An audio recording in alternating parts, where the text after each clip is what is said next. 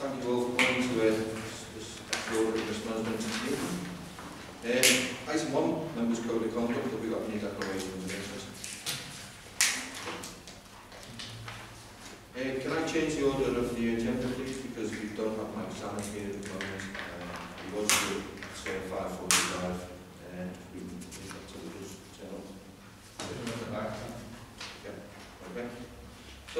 item three, external audit, uh, audit committee appointment. Thanks, Chair. Evening everyone, Robin Baker from Grant Thornton. I'm joined by Heather Green and also uh, Gordon Howard as well. Um, well, if it's okay, Chair, I think it probably makes sense to sort of take the, sort of the three, license three, and four, and five um, together, if that's Yeah. okay. Um, and I'll sort of do my best to take through. Clearly, obviously, I'm happy to take any questions that uh, members may have in terms of that. Um, so, I'm going to start off then. So, in in terms of item four, which is the external audit findings report, obviously, the item three is a verbal update, so obviously, it's part of that, give you an update on where we are and things. So, um, so we've got here the audit report, which is on the, the council. Um, conscious that members will have these papers for some time now, given the changing of the dates. Um, so I won't get to you through every single thing here, but I'll do two three things if I may. Firstly, just a quick reminder of what this report is all about, what its purpose is, and why we're bringing it to you. Um, then I'm going to give you a quick update in terms of what key findings our audit this time. And talk you through those both around the opinion, the value for money conclusion, a bit about of independence arrangements.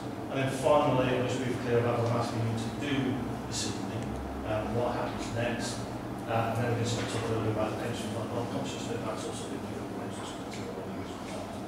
So, just in terms of what this, um, what this report is all about. So, this report is, uh, provides a summary of the findings and conclusions from our audit. We're required to bring that to your attention before um, we complete and sign the audit report and you take a decision on whether to adopt and approve the accounts. Um, it's a standard part of our process. Um, it also allows us to update you on um, what we set out in our audit plan with the areas that we set were going to address. Um, so that's a bit about the report's all about. Um, just in terms of our key findings, then I'm going to start off talking about the opinion. So this is the this is the opinion we give on your financial statements as a council. Um, so, obviously, this report was drafted a couple of weeks ago, and at that stage there was still some work that was uh, underway, not yet completed. Happy to report to the committee that all that, report, all that work is now being completed, um, and there are still no material errors or uncertainties or any outstanding items that prevent us from concluding our audit. Um, there have been a number of changes um, agreed with uh, officers as set out in this report. And there's been one subsequent change whereby, as a result of the change in the schools accounting, whereby we've now recognised four further schools that haven't previously been recognised. Um, the balance sheet now includes uh, been restated as at the 1st of April of the preceding year. Uh, it's a technical accounting change, doesn't uh, alter your reported financial position or resources you've got available, um, but it is an important change. I'm, sure Tom will take you through that a little bit more later on, just in terms of that. Just members I don't think it's a secret regulator will come on to the actual account and not on Um, so we've completed all the planned work that we've intended to do, um, in particular in terms of those sort of main risk areas that we reported to you in the year. So we've done our testing of operating expenses and creditors and satisfied there aren't any material issues arising from that. Um, we've completed our testing of what we call employee remuneration, which is salaries and wages. Uh, I think that's a big element I'm sort of probably testing on that. Uh, and we also did quite a bit of work around what we call welfare benefits, which is housing benefits, rent allowances, that sort of area. Um, so, like I said, no, there's no, um, there's no outstanding material errors or uncertainties, so subject to you being satisfied to approve the accounts and to uh, authorise the issue of the letter of representation, uh, my intention is to issue an unqualified audit opinion confirming the financial statements present a true and fair view of the council's financial position. So that's a bit about the opinion. Uh, then moving on to the value for money conclusion. Um, members will be aware that we have sort of wider responsibilities which include issuing a conclusion on the appropriateness and effectiveness of the Council's arrangements for securing value for money. Um, as it sets out in the report, the Council's made real progress in improving its arrangements for delivering value for money. In particular, there's a process which has been proven now to uh, identify and deliver savings, um, and there are regular refreshes made of the medium-term financial strategy, which is clearly very important. So clear, clear, clear improvements in terms of your arrangements, um, recognised by the award of the most improved council, clearly. Um, there clearly are those still challenges going forward. um, financial challenges, um, and I think you've recognised in your Vision 2020 plan that delivering that will require new ways of working, uh, working with partners and new sort of skills and attributes, which I clearly that's recognised. Um, there are still some areas where we still need to improve some of the basic processes, and we talk in the report about um, still the need to improve elements around procurement, or the underway on that, and also the arrangements around um, dealing with and trying to address this absence as well. So but that is, you're aware of that, and work is underway. So, um, looking ahead, we've sort of identified three main areas that we think are useful for the council to focus on. So there's one about continuing to improve and embed basic arrangements, uh, basic processes, um, continuing to identify and work on those new ways of working, and new ways of delivering services clearly have to be addressed. And that's the case across all of local government, I think it's fair to say. Um, and finally, just maintaining that focus on that significant financial challenge you've got over the next couple of years, again, which is common to lots of local authorities. Um, so having said all of that, bringing all that together, um, you know, I'm satisfied the council has got appropriate arrangements in place to secure uh, value for money and use resources, and my intention will be to issue a unqualified value for money conclusion and confirm that's still. So that's a little bit about the value for money conclusion. Finally, I've started up around some independence arrangements. So I think, if I can refer you to, I think page 27 of your papers. You've got there the details of uh, the fees that we've charged for the audit this year. So there's a fee for the main audit, which, um, for those of you who are members will remember, that was set by the Audit Commission before they were abolished. Um, so that's a sort of set fee, and there's the fee around the audit of the welfare benefits and housing benefit. Um, we've also provided some fees for other services as well. So we've done the audit of teachers' pension return, we're doing work on the regional growth fund and some additional work on housing benefits arising from the qualification of previous years, so those are additional fees. When you said page 27, you've got our, you've got Oh, right, so, double numbers. oh, right. So it's page 33. Thank you. Excellent, so that's very helpful.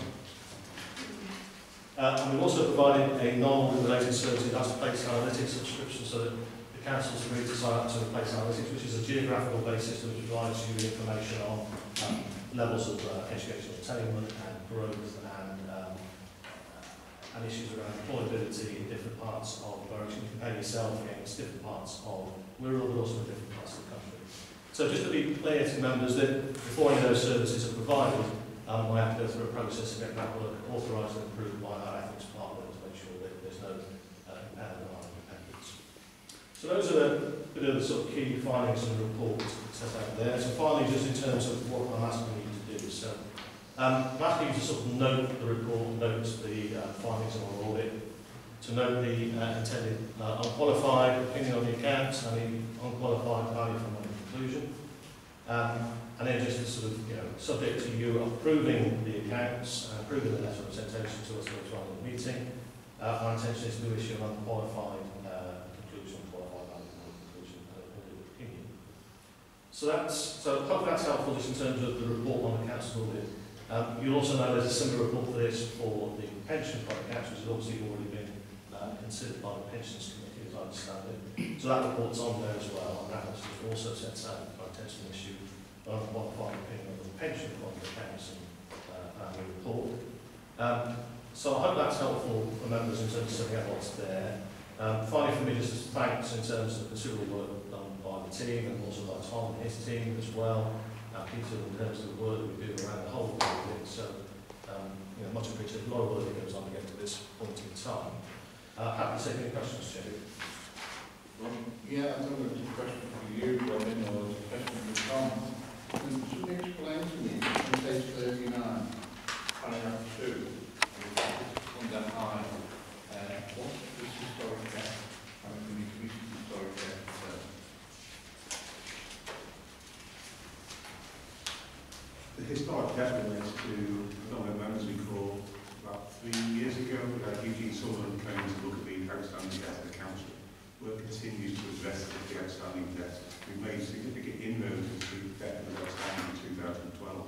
But obviously, year on year, that comes back again. And there's further progress being made on recovering outstanding debts. During the last financial year, we've had engaged, I think we engaged Waitons to provide some support on that. We also strengthened the internal teams on debt recovery. But like all councils, debt recovery remains a high priority. And that's why it's classed as high priority, because we've got to recover the outstanding debt and work continues is indeed difficult.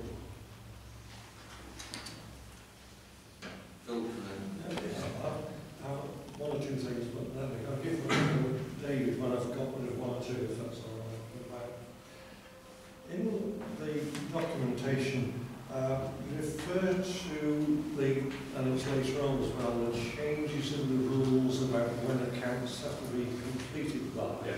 It's like moves forward about one and a half months or whatever. E- Earlier in the year, it's still been June, July, and somebody comes May, and things have to be out in July instead of September, that's Yeah. very full summary of it. Yeah. You, you refer on um, page 23 of your papers, or page 29 of ours in big print, uh, and that unfilled vacancies in finance, and the need for temporary support to get the accounts completed, and the need for capacity to get the accounts completed. So perhaps we could have a feel from anyone as to what that means. Does it mean bringing people in for a couple of hours to sort it all out? Does it mean that you know, we're going to have to have some more people permanently there to reach these new deadlines and get it done and dusted without having to pay a fortune to agencies or something? That. In terms of the challenge of us face, the deadline coming forward is significant. Uh, no, myself and Robin had discussions week about how we perhaps accelerate the time so over the coming years anyway and improve it, rather than having one big leap in 2017. In terms of capacity within the financial services division, I do at the moment have a number of vacancies. And to help us get over the period this year, I've had additional support, temporary support came from the period April to September. But that person, Barry Williams, is, the name, he's been very helpful in completing the accounts this. He actually helped us last year, he, he on the 30th of September. Are the rest of the David's question, yes? Well, it was nothing very complicated, but I've always been uh, guided by the historic concept of exception reporting. Uh, reporting anything that seriously might or might not be going wrong. I take it from what you've said, you have no serious concerns about anything. I just like that sort of qualified in the sense that you're happy for that statement to go on record in that form. Because as I say, I've been driven by the idea of exception reporting over my business life. You obviously haven't found anything you believe is conspicuously dramatic to require us to take further action or to be concerned at this time, other than maybe Tom's point about lack of resource in terms of staff that might make it longer for to do things than we have done in the past. That's Greater challenge. A challenge, a challenge, a challenge. So I assume that, sorry to repeat myself, but I assume that's what you're saying, that you're happy, totally happy with everything that's uh, going on. I think the report's very clear, isn't it, that um, there's no material errors in the accounts, I'm prepared to sign up the accounts, uh, uh, uh, you know, prepared to unqualified value from the conclusion. The report clearly makes a number of recommendations of where things, uh, up a space where things you need to continue to focus on to going forward, and I think, I think more generally for the government, things are getting tougher, and I think we still wait to hear the uh, Chancellor's announcement next month around what that's like to look like, but, you know, there's still things that, there's nothing to prevent me giving an unqualified uh, opinion or conclusion. Thank you. But that's helpful. Yes. Um, I always enjoy the language of audit reports over the last 20 odd years, depending who was writing them. But on page 11 in big print, or page 5 in small print, refer to the procurement issue, which you can see its absence. But then you talk about the required cultural change will be demanded. What do you mean when you write about cultural change? Yeah, I think that uh, what, and this is something I think quite general to, to local government. Clearly, the way that traditionally local government's worked has been delivering services um, largely yourself, uh, you know, largely in-house. Um, and I think increasingly now it's much more about working in partnership with delivering services with others. It's about um, embracing risk in a way that allows you to, um, you know, engage with new delivery vehicles. Uh, it means that whole way of working, which is about um, you know seeing risk, but actually uh, embracing them and seeing those as possible. So things like uh, you know what some number of councils are starting to increasingly do is, is use their capital resources as a way to fund prime development, recognising that revenue resources are more uh, uh, more stretched and likely to decline. So that tends to involve a different type of approach, a different cultural approach in terms of seeing that as being a positive thing to engage on. So I think those are the sorts of areas that I would, I would cover. And I think we've, um, in a number of, certainly in a number of councils we've worked with, particularly in London, um, have helped to support the sort of that change program, so looking at the, sort of the skills that staff have is actually starting to change in terms of the, you know, partnership working, the taking it, you know, wanting to take risks, if you like, you know, manage framework, um, to try and help that what we call, you know, wider sense of cultural change. Okay. Okay. Um, I'd like to thank you for your input.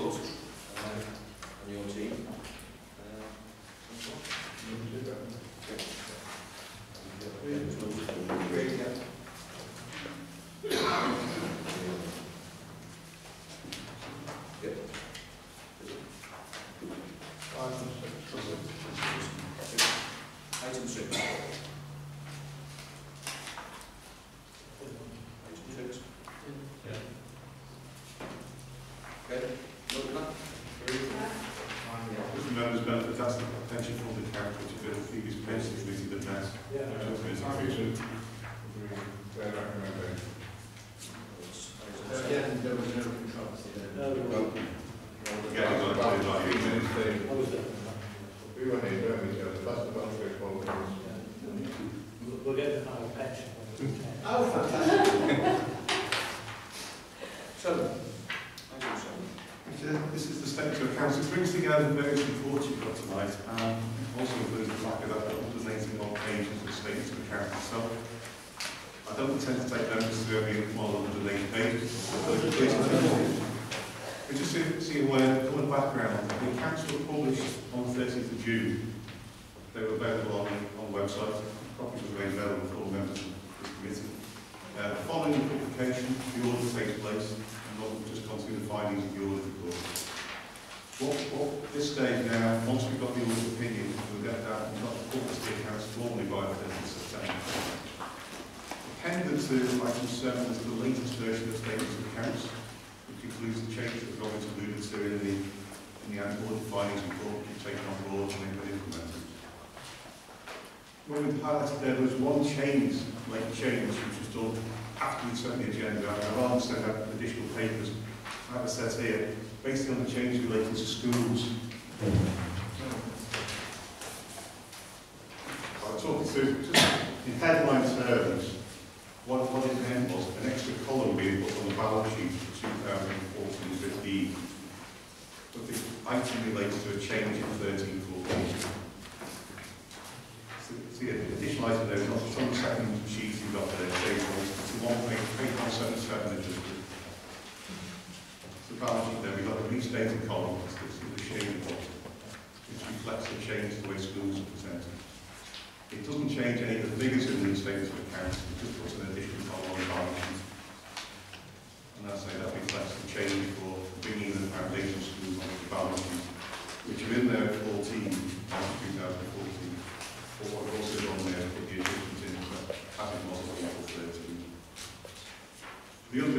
Highlighted through those pages there as a consequence of those changes. So just ripples through those pages in the accounts. And on, there's one further change what we've got in front of. It's the sheet, page 240. There's been a slight amendment in the introduction, top of the page, to remuneration for employees. So there are two tables set out on, on page 240 of the accounts. It shows the remuneration paid to senior staff, then the banding uh, pay made to people who left the organisation. It's just for clarity there. It says the employee management does include the senior employees which are shown on duty pay. It's just a clarification. Other than that, what you've had presented there is the appendix to the statement of council report will be changed with these items. and details. The bottom line impact is it makes no change to the financial position of council, just some length of legal business. Just looking through where we are now. Um, in terms of the audit opinion, as I say, hopefully that'll be issued after we complete the accounts tonight, after the chair sign off the accounts and you'll have to this letter of representation. The audit opinion should be issued hopefully tomorrow. We'll publish the accounts by the deadline date of the 3rd of September. In terms of what else you've got there, the value of money inclusion referred to, Colin's got through that. And again, it's an unqualified conclusion. Some work to be done there, particularly about going forward. with The Vision 2020 work, how that develops, what I'll take on that journey. The letter of representation, which is appended, is a statement from the council, or from myself and the chair, to say what's been included in the accounts. That's to give to the auditor, so he can release the opinion, give some background to what's been taken into account in the accounts. The annual governance statement, which includes in the statement, when we produced the draft, it included the draft annual governance statements. Members will be aware, audit committee last week, we received the updated annual governance statement. That is what you've got in the appendix today. So in terms of what we need to do going forward, so the key thing is, there's no change, the outcome of the audit is no change in the financial position of the council, these excellent news. Um, of course, I'd like to as well thank the work of the auditors. It's a cha- it is a challenging period every year. Every year the deadline seems to get closer and closer, but we made it again, thankfully. And again, as the positive is, it's an unqualified conclusion. So in terms of the recommendations, now, you considered the audit findings report, I said there were no changes to those, the accounts require you to consider. Findings of value for money, you can see those, that's unqualified conclusion, and you can see the action plans appended to the audit findings report. That will now be correct. Item sixty-two uh, is about signing off the accounts. In previous years, when we produced the report, there's been outstanding items at this stage. That's for delegates authority for myself and the chair to the accounts. At this stage, there are now outstanding items. So, probably delete that one. Uh, so asking the chair at this stage to sign the letter letter of representation, which is appended there, so please sort that out after the meeting or go now. So what page is that? That's on page,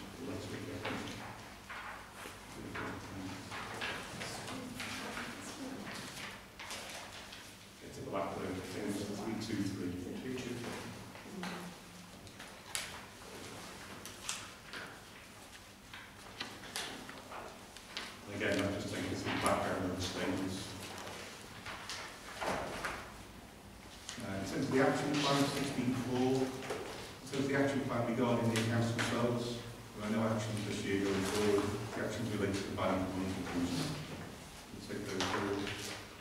And subject to the committee agreeing above, the chair myself will sign off the accounts for 2014-15. That will then be sent to all colleagues. We'll get the audit opinion tomorrow and get them to the 5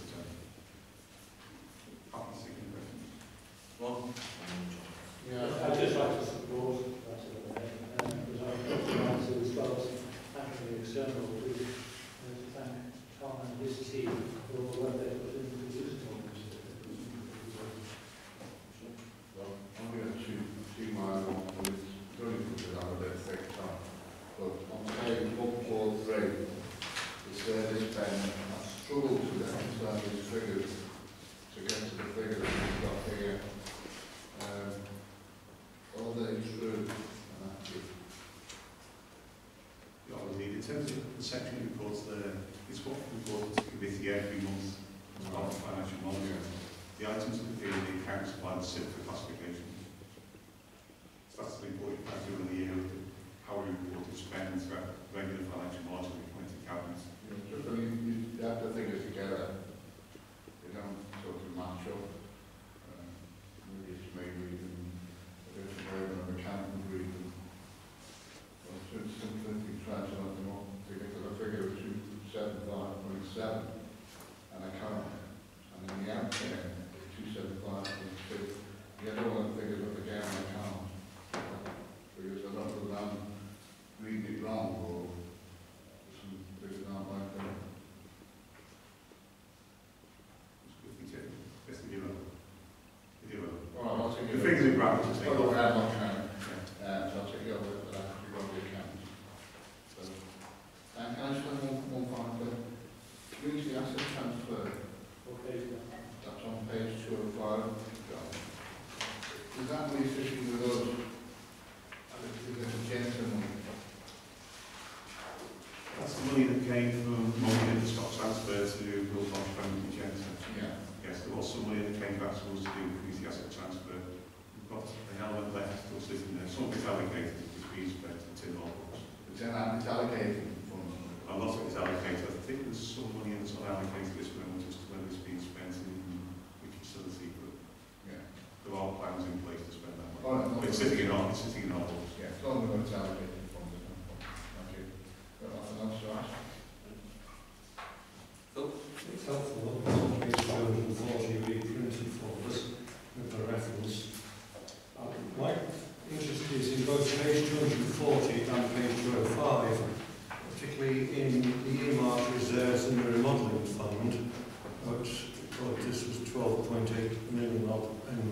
March 2015.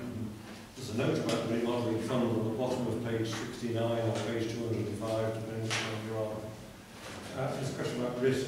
If I look at the number of people on page 240 who've gone and looking across those columns uh, the table at the bottom of page 240, the number of employees and former employees in those various bands, then uh, an idea, that gives me an idea working out an average of how many staff have to leave in that period or to QVR.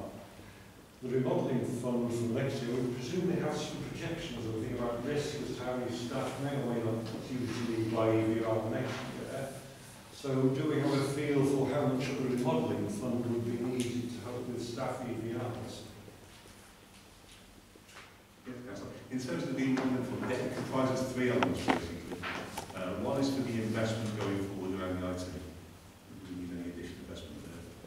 One is for investment in remodelling the council, restructuring the council, which is new initiatives taking things forward that things like development of local authority companies, bringing in external support. And the other element is the one-off costs for reducing the workforce. So there's an element in that remodelling fund for reducing the workforce. Of which are the remodelling structures that went through during 2014-15, which have been completed during 2015-16. So it's an element for that. So last year's trend through chair was similar. In 2013-14, 2014-15, numbers of staff identified as leaving in this report. Uh, I've no idea what this year's trend might be. None of the staff was in. So I assume there's about three million pounds of revolving fund that might be used for exit packages. The latest one, yes, is the commitment so far is about 45 million pound, 3 million pound, as you say, set aside for redundancies following those agreed as part of remodelling these structures in 13 Uh, being careful about this one, the figure of the one person referred to as being banned over £100,000 would be a former chief executive. Don't think it's appropriate to discuss. Not it. appropriate, but it might be. It's fairly obvious. Right, thanks very much. Any more questions? I just, uh, that's on the thanks to the committee to Simon and uh, to all your staff who have worked, uh, obviously worked hard this year. again. And can we agree the recommendation? Right, back to, uh, President two, is it? Mike.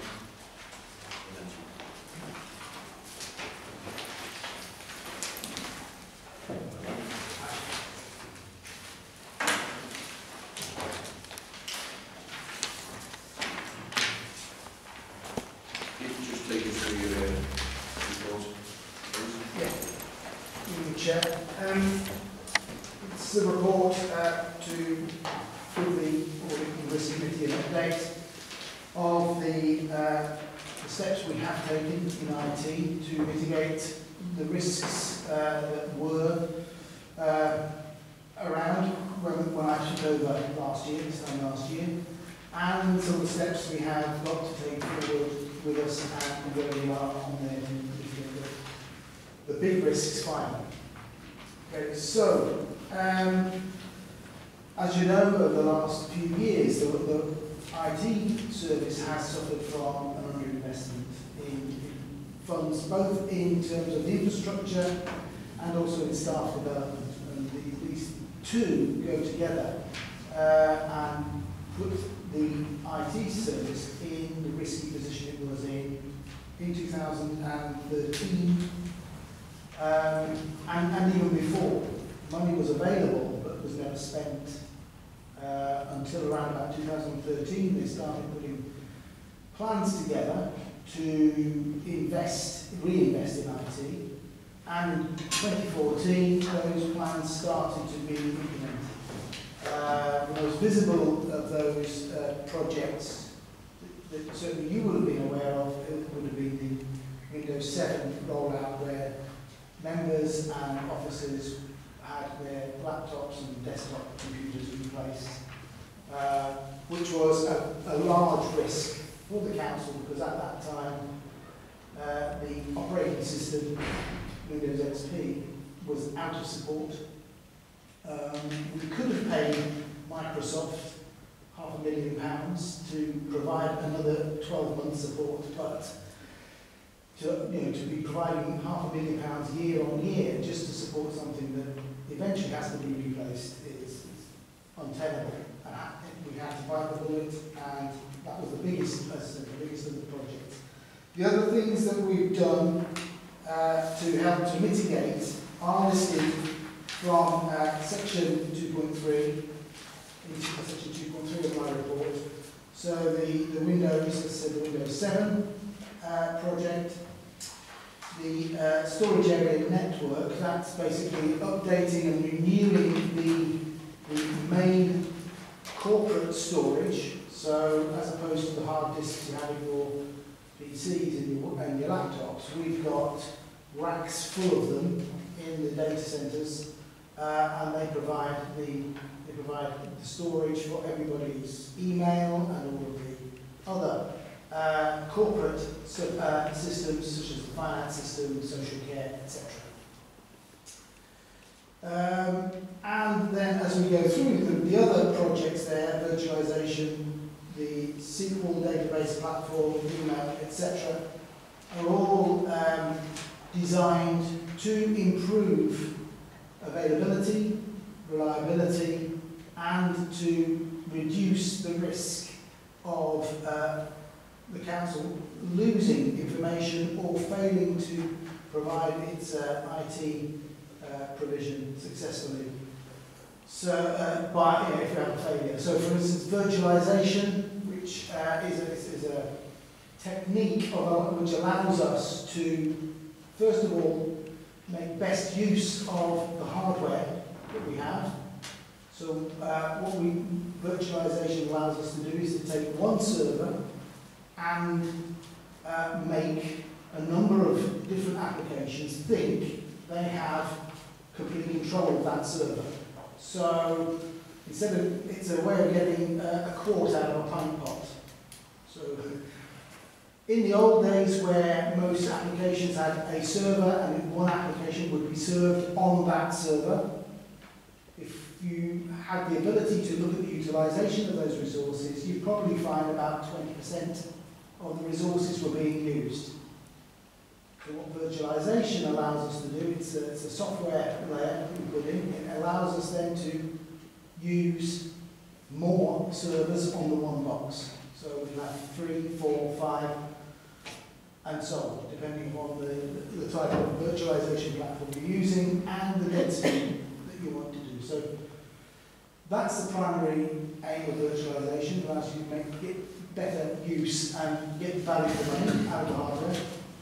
It also allows, uh, if it's like what we've got, VMware, allows us to automatically shift servers around, virtual servers around. So the situation we're in at the moment is if we have a failure in a piece of hardware that is running, say, the account system, the virtualization platform will move that virtual server to another piece of hardware that is working, alert us that there's a problem, but the finance department and all the users of the finance system should not know that there's a problem.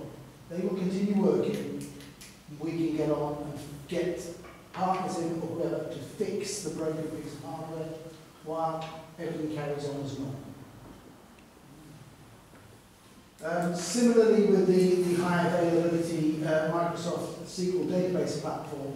We're shifting our, uh, our database uh, requirements into that platform because in the same way as virtualization allows us to shift servers around on the fly, this, as its name alludes, high availability, it gives us high availability again. It's much more resilient, more fault tolerant, it can recover itself without us getting involved. It alerts us to a problem that we can then deal with in the background while users carry on working. Um, the email Office 365 project, which is underway at the moment, we're due uh, to start going into a small, limited pilot next week, uh, which will run for about three weeks. Then we'll have a two-week hold your breath to see what the testing threw up. And assuming nothing uh, dramatic has gone wrong, we will be moving everybody, members and staff, onto this uh, email Office 365 platform uh, within the next few months. And there will be more communications around that for everybody. Just sorry to interrupt, how will that, will that, will that change the appearance of our, The, if you're using Office uh, Outlook Web Access, the web one, it will look different. It will be more different colours and, uh, and, and some of the menu options will be in slightly different places, but that will be covered with uh, communications and extra uh, information for you. Just on, on the remote access that we we have, obviously, uh, my emails are accessed remotely, Yes, uh, so I get them sent to my iPad, it's cloud-based, yeah, uh, through an app. What impact would it have on that? no, because this is cloud-based. So it just be, it just be automatically migrating across, You will, yeah, yeah, so I wouldn't have to do anything other than what. You should, you should have to do nothing. I have asked what will be the impact to people who are getting email through their web browser, whether it's on an iPad or on their phone or, or uh, on a laptop, uh, remotely. And I'm told that apart from the visual change, because it's a much more up-to-date version, so as I said, many options may be in slightly different places, Everything else should remain the same, so when you click on the, the link to take you to the email, you should all get the email. Right, thank you. Just it doesn't work on the iPhone. It works on the iPad, but it doesn't work on the iPhone. Well, if that's a council iPhone, That's then, mine. Ah, well, The that's, mine, that's why, that's why I asked you. well, the, working. well, you're lucky that it's working on your iPad, because actually the government, PSN accreditation regulations have asked us to stop allowing private access because of the risks around us not knowing whether your iPad is vulnerable to viruses or attack by hackers. But if, I'm just it's an email, Mm. I get my emails sent to my phone, Yeah. because I'm, got a desktop Mm. computer, um, I spend more of my time outside of where my desktop computer is, than I do the desktop top computer. I'm out and about, I have constant, constant access to my email when I'm out and about, via the iPad. Yeah. Well, we have, we've That's, worked, that's through one of your approved uh, apps, which is the, um, called Exchange. Ron, can we, yeah, if you want to discuss this out, Yeah, the meetings, No, no? I don't know, it's about all that, it's now about six. It's It's very important that we get the, we get our things working right because I understand that the vulnerability around viruses and so forth. It's about exchanging information. It's about you sending me information. Yeah, but it's also about us providing for rural residents the security to know that we are secure and that when they transact digitally with us, that our systems will look after their personal information and that we're not doing anything that exposes them to risk. And so anything- Through, the McAfee app anyway, that's on it. We are, we are, there are a number of other things we're looking at which will further improve the situation and allow uh, access via iPads uh, but generally, the government would rather we own and control every device that links to our network. That is your, the device your control, and that can be active. No, the device you've got, if it's your device, Yeah, but the, the app your. Yeah. I, I will just uh, a quote from CESG, the Central Electronic uh, Surveillance Group, which is part of GCHQ, that can actually they are the people who control all of these regulations for us. Dr. Ian Levy, who's the technical director, was quoted last year as saying, if you don't trust the hardware, you cannot trust the software that's on it. Because there are apps out there that will lie to you and tell you that they're okay. No, but it's, like, like I'm, I'm sorry to leave it, but I've got also another little government app, it's called Buddha. It's a amazing travel app. Yes. Allows me to access my amazing travel emails.